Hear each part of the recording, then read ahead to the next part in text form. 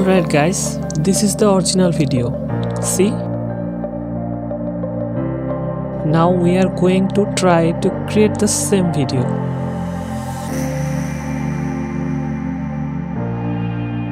তো চলেন শুরু করা যাক টিউটোরিয়ালটি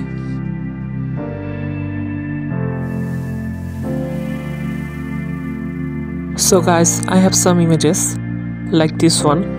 I can create this type of boundaries in Photoshop just like that. Very easy.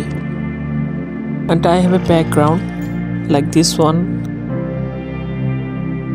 And there are some images. This one, this one, and this one, this one. And this is me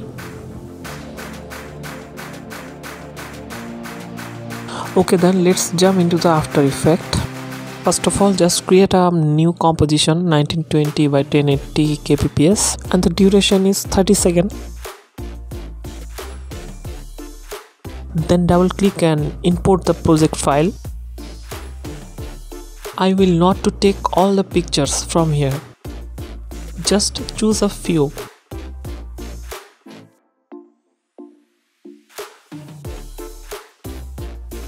then I will take one image after another and bring it to the timeline. So I select the first background image and drag into the timeline. Then the girl image. And this one put into the middle of the two images. Then simply go to the to view then every pic should be converted to 3D. Alright, then keep them slightly above the screen.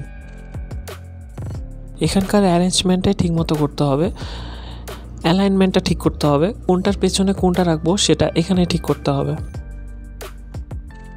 resize those images very carefully alright now create a new camera enable death of field এটাকে uncheck করে দিতে হবে।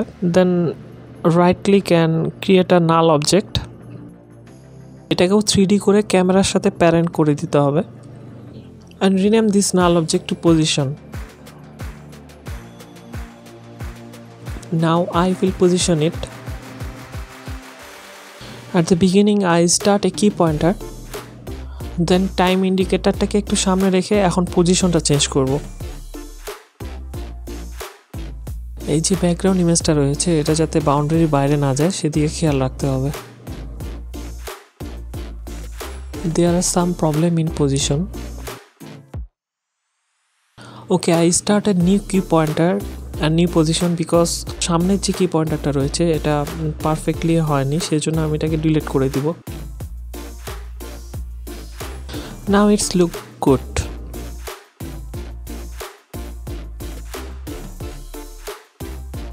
next I will add the second background and it also convert to 3D and position it in the top of those images and it has to be placed a little to the right side and also resize it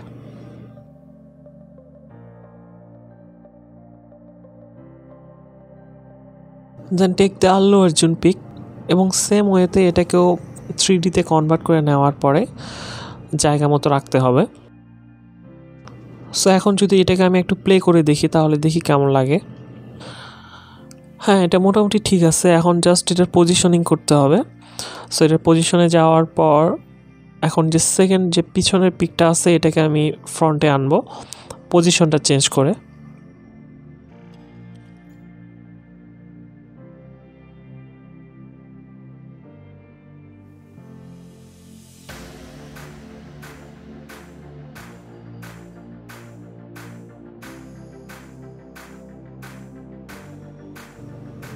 so এটা মোটামুটি হয়ে গেছে আমার মনে হয় it's not so bad I think it's okay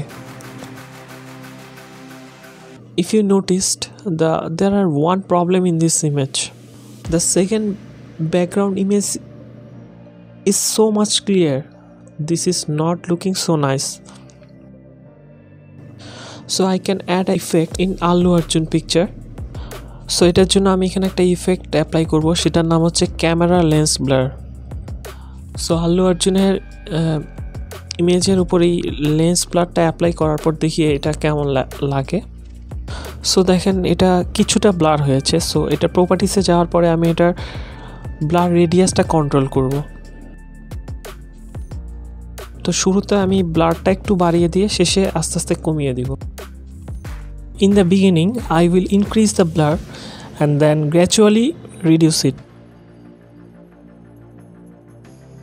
শুরুতে যে ব্লাডটা দিব, সেটা একটু বেশি থাকবে এবং শেষে যেটা দিব, সেটা আস্তে আস্তে কমে জিরোতে চলে আসবে।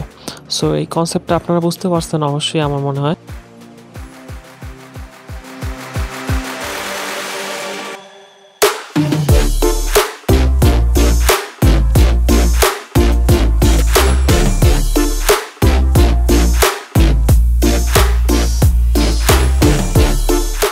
I will not create the second part because I have done this before. It's become a lots of time will be waste here. But I am going to break it down and show you how I create this. এটা অনেকটা ওই যে ফটোশপে যেমন layer থাকে একটার পর একটা layer অনেকটা সেরকমই এরপরে আমি যদি আপনাদেরকে এখানে এটার পজিশনটা দেখাই তাহলে দেখেন এটা কীভাবে চেঞ্জ হচ্ছে প্রথমে একটু স্লো তারপরে একটু ফাস্ট তারপরে আবার স্লো এটা পুরোটাই আপনারা আপনাদের নিজের মতো সাজাতে পারেন। এটাতে কোনো বাধা ধরা নেই। ইচ্ছা মতো নিতে পারেন। কিছু তারপর আমি এখানে একটা টেক্সট অ্যাড করছি। এরপরে আপনি চাইলে সামনে পিছনে যে কোনো জায়গায় টেক্সট অ্যাড করতে পারেন। ওকে লাস্ট এরপরে আমি আপনাদের এখানে একটা ইফেক্ট অ্যাড করে দেখাবো। সো ইফেক্টটাকে এনে টাইম লাইনে রাখলাম। এরপরে এটাকে এখান থেকে স্ক্রিন করে দিচ্ছি। So now it's look much better so এটার কাজ মোটামুটি হয়ে গেছে। এখন যদি আমি এটাকে র্যান্ডার করে দেখি, তাহলে দেখি কেমন লাগে।